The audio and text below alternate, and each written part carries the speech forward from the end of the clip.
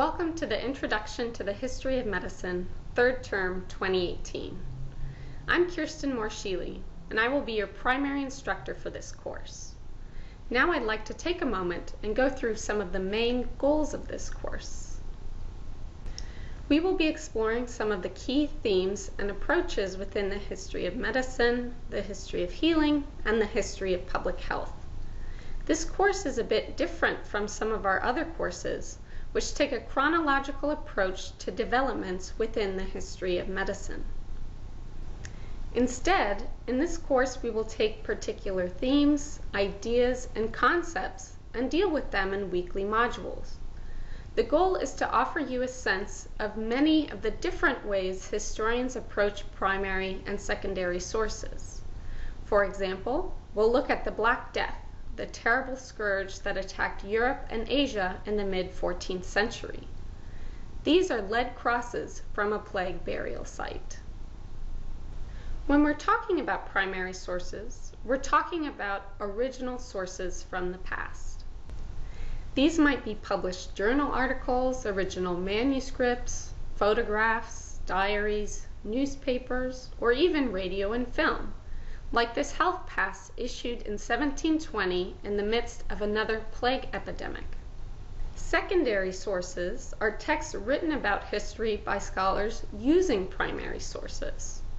We'll look at how historians, such as Susan Reverby on the Tuskegee syphilis study, evaluate primary sources, and use them as evidence to build arguments. And in turn, how they use the knowledge created by their peers in combination with primary evidence. In other words, this course will give you the nuts and bolts for thinking about how to analyze and write about history. It will provide you the means for thinking about history as a way of knowing a way of asking questions about how we know what we know and how we remember the past. We'll also be introducing you to key themes in the history of medicine, healing, and public health, so that by the time you're done, you'll be able to address those key themes yourself, understand them, and evaluate them.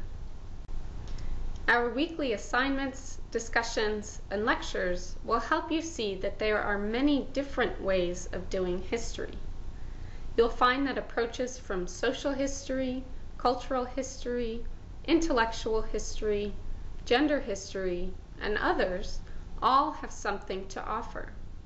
As we go along, ask yourself, why is one approach more valuable than another for a particular question?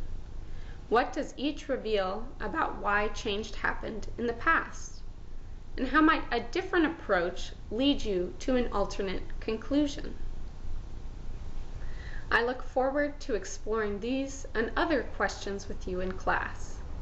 Please visit our program's website to learn more about our Introduction to the History of Medicine and other courses in our online program.